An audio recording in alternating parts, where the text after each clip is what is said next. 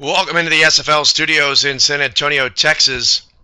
The Kailua Wyverns stay alive with a 33 to 24 victory over the Dallas Stars, in which a fourth quarter saw a combined 27 points scored.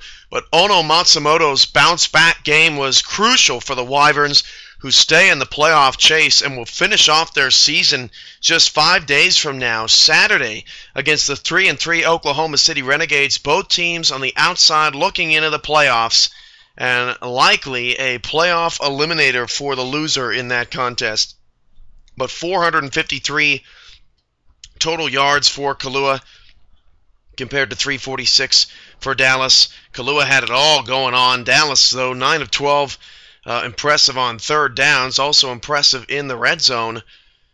Uh, but Kailua just outplayed him today.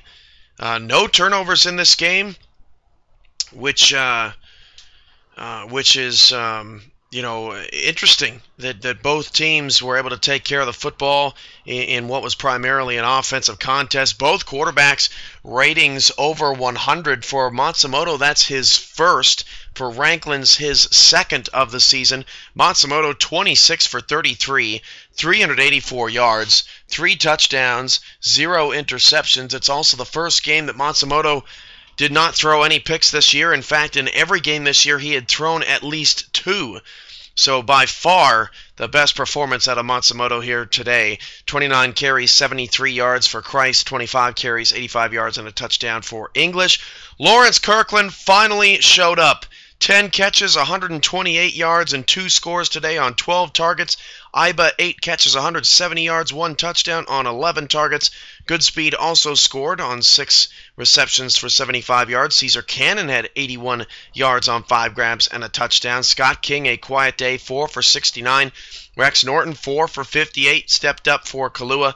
Johnny English, 3 for 24 uh, in the passing game. For Zach Elfage, he led the Stars in tackles, seven tackles, three assisted, one pass defended. Nathaniel Grayson had five tackles on the day, as did Sebastian Brock.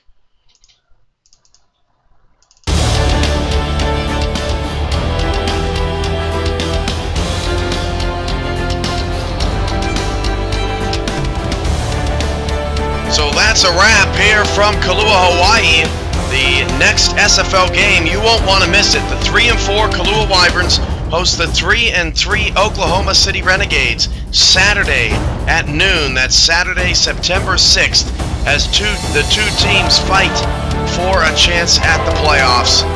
As Kailua is now back on winning track. 33-24, Wyverns get the win today. From all of us in Kailua, Hawaii, and in our SFL studios in San Antonio, Texas. Have a great Tuesday and a great rest of your week.